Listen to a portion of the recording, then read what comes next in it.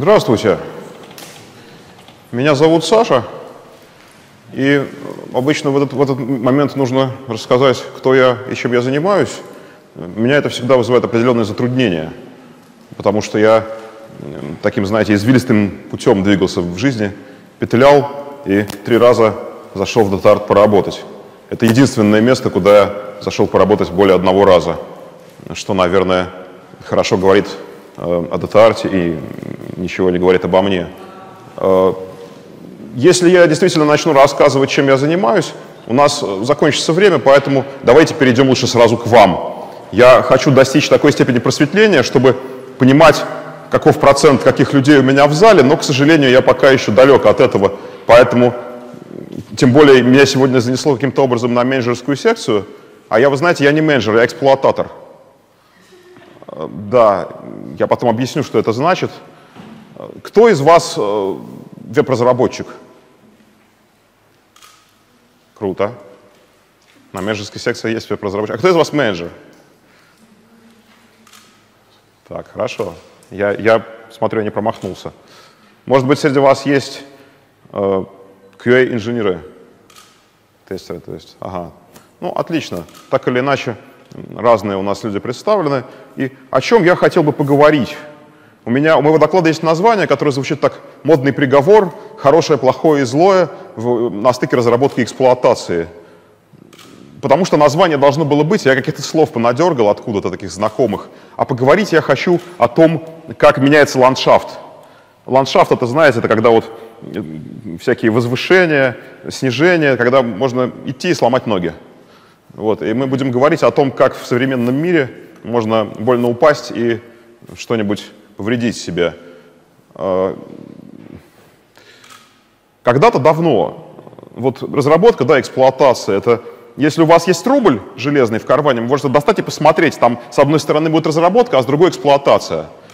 Когда я заявлял тему доклада, мне Наталья сказала, чтобы я ни в коем случае не ругал разработчиков, а я подумал, что ну, а кто еще-то есть, как бы мне, если я соберусь кого-то ругать, то мне ругать будет некого, потому что кроме разработчиков никого не осталось.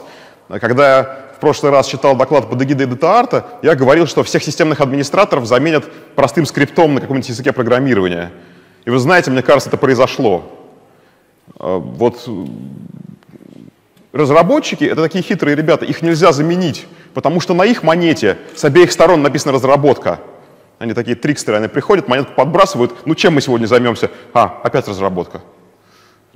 Получается, что как бы вариант, когда на монете, а у меня на монете написано всегда эксплуатация. Потому что когда приходишь с монеты, где написано вот, движение DevOps, да, у меня, я являюсь соорганизатором Санкт-Петербургского DevOps-сообщества, но это не потому, что я DevOps, а потому что, если бы это не сделал я, это сделали бы настоящие DevOps. И это было бы гораздо хуже, поверьте мне. Я решил застолбить поляну и посмотреть, вот, когда они придут, я бы от них, наверное, оборонялся бы, но никто не пришел. В Петербурге, видимо, единственный DevOps — это я. Я знаю, что в DataArt есть еще девопсы. Нужно как-нибудь на них посмотреть, возможно, это добрые, милые люди. Так вот, классика DevOps подхода состоит в том, что раньше якобы было два лагеря, да, которые были разделены стеной противоречий. Это вот лагерь людей, которые занимаются разработкой и которые драйвят, да, вот тащат продукт вперед, что-то новое пытаются привнести, что-то все время пытаются сломать. И есть лагерь людей, которые занимаются эксплуатацией, которые прочли вот такую вот гору стандартов, запомнили их все, и когда разработчик приносит свой продукт, они говорят, так, так, так, так, так, мужчина, у меня обед. Ну и вы нарушили такой-то стандарт, идите все и переделайте. Проблема э, считалось, что проблема состоит в том, что вот есть некий конфликт да, между разработкой и эксплуатацией, но поскольку системных администраторов всех извели, конфликт исчез. Сейчас разработчик может делать все, что ему вздумается. Сейчас есть облачные технологии, и это никакая не новость, да, вот я говорю, что хочу поговорить про будущее, да, предаться сладкому греху визионерства, но облака — это уже прошлое. Сейчас, когда заходишь на Enterprise-конференцию, там обычно у них два раза дают обед, и между первым и вторым обедом там звучит слово «облака, облака, облака, облака». То есть, ну, вот разработчик — это такой человек, которого можно так в облако посадить. Я хотел нарисовать единственный слайд, где вот, знаете, Земля, облако и сверху такой разработчик над этим всем, над облаком. Мне кажется, это отличная картина, она некий иллюстрирует идеальный мир, где вот есть разработчики, системных администраторов нету, и есть вот красота вот эта вот. Внизу земля, там можно парить над ней в облаке. К сожалению, к сожалению, реальность выглядит немного иначе.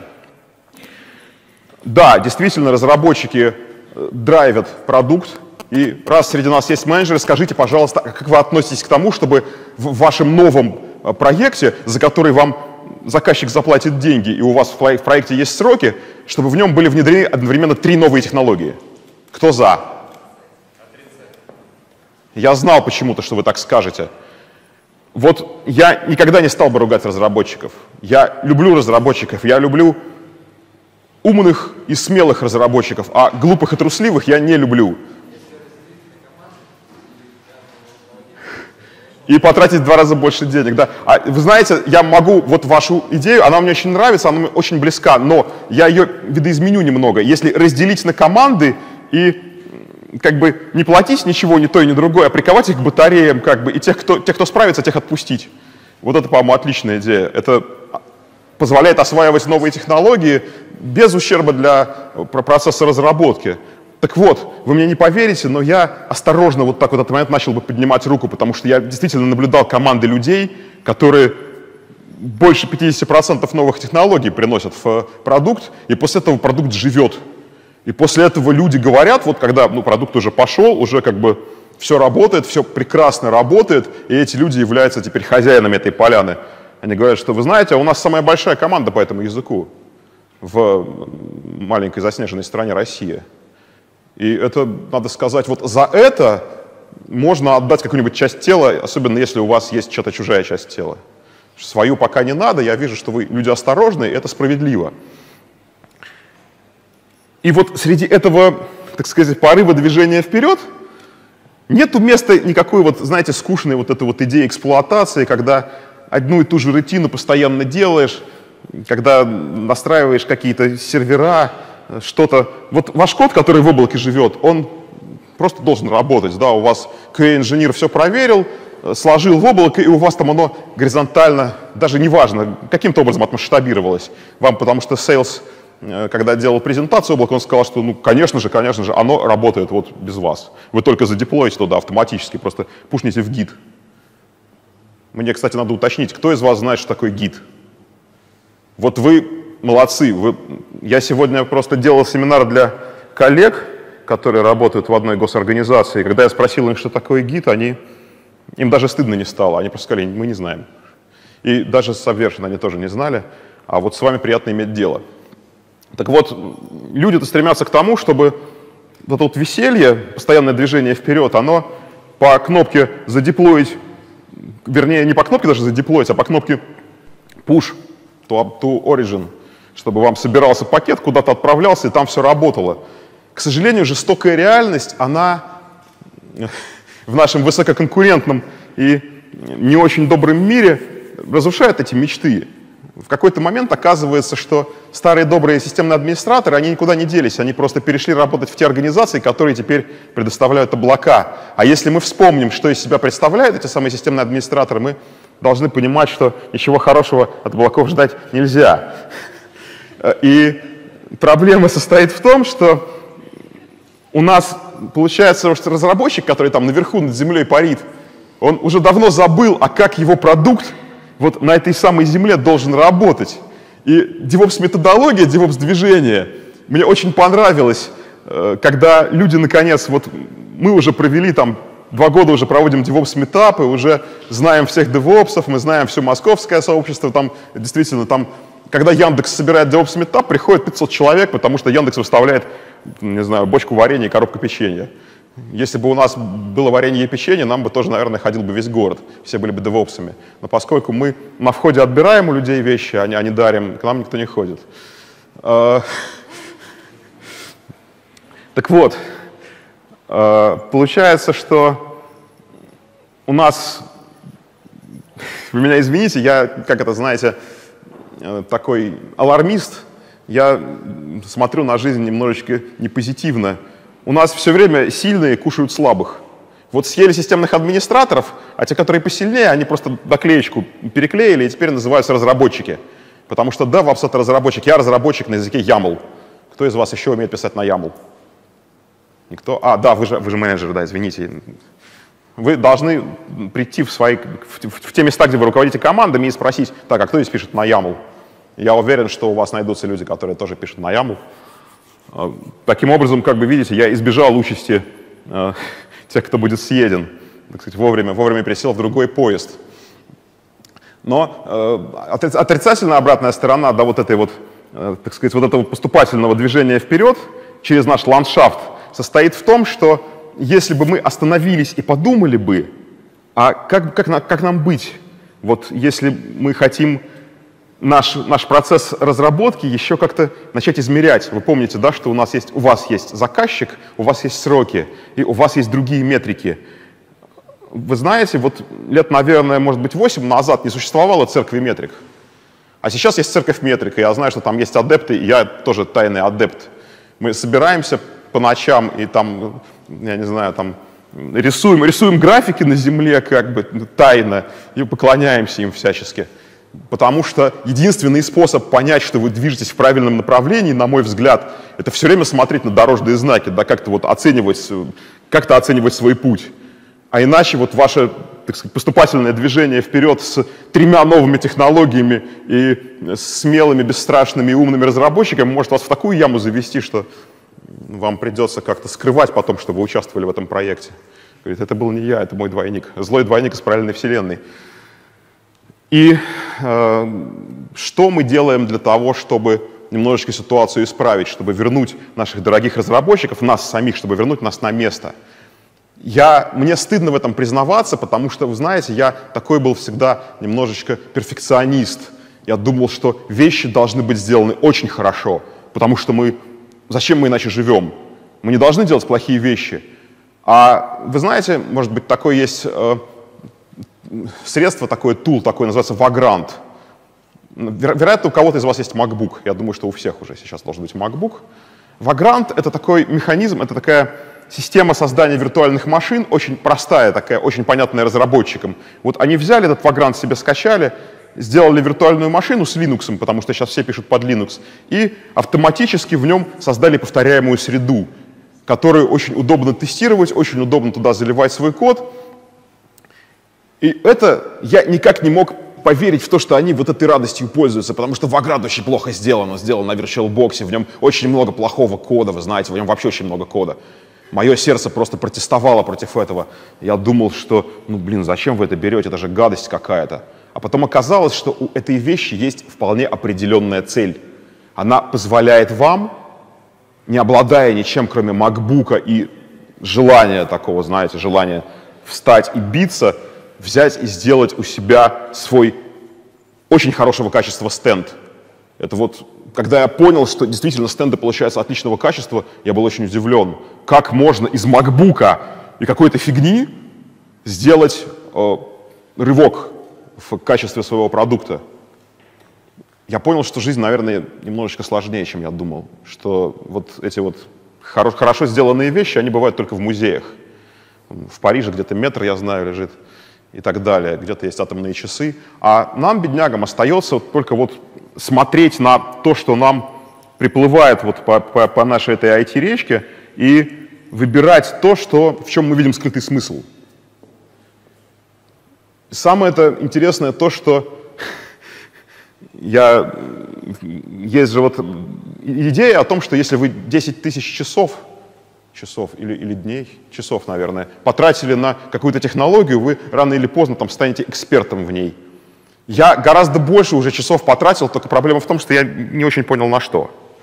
То есть я эксперт в чем-то, но вот, понимаете, мне тяжело понять в чем. Несмотря на это, я очень много вот видел всех этих вот наших IT э. Я помню, что когда я только начинал, была книга Гради Буча такая большая, толстая, ей было, наверное, удобно драться. И была такая же книга тоже про какую-то... А, потом вышла книга Фаулера, который, не знаю, она у меня на полке стоит для красоты, я не смог ее читать почему-то. С тех пор я не люблю Фаулера. Мне кажется, что он плохие вещи писал в своей книге. Кто-нибудь читал Фаулера? Это была очень модная книга. У меня осталась, кстати, моя, я могу поделиться с кем-нибудь. И я очень скептически ко всему этому относился, потому что, вы знаете, разработчики вообще очень большие скептики. Они знают твердо одну вещь, что я самый лучший, и мне ничего не надо, я вот все уже знаю. Я помню, когда я в школе учился информатике, я был твердо уверен, что я самый лучший, и сейчас это действительно, сейчас действительно так. Сейчас я знаю, что да, я самый лучший. У себя, у себя в подъезде. Потому что я, наверное, единственный программист. Я живу в таком месте, где не очень много просто программистов, но вот ко мне приходят иногда, говорят, вы знаете, мне кажется, вы понимаете в компьютерах. Я говорю, да.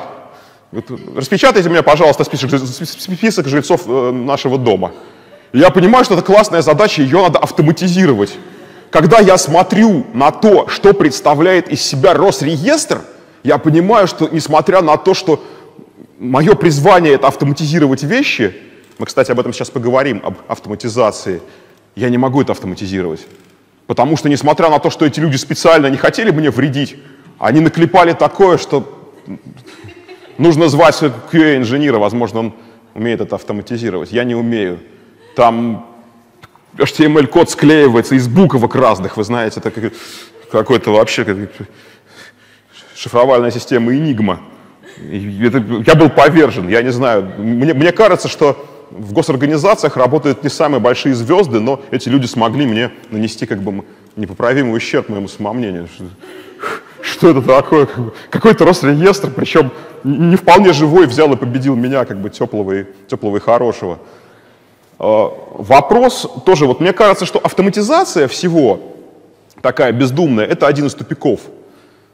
Одни мои хорошие знакомые пытались сделать автоматизацию своим бизнесом. Они говорили, мы вам сейчас автоматизируем, вот все, все автоматизируем, у вас будет автомати автоматизированный процесс создания вашего продукта, создания вашего кода.